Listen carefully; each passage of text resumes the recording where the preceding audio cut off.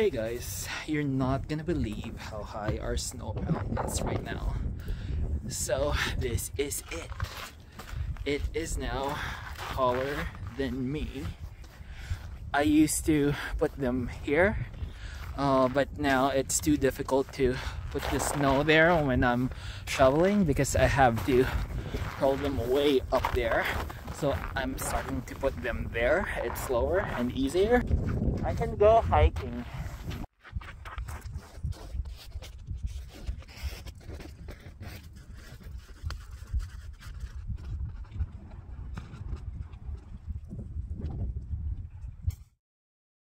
and this house i mean look at that car. It's so covered in snow.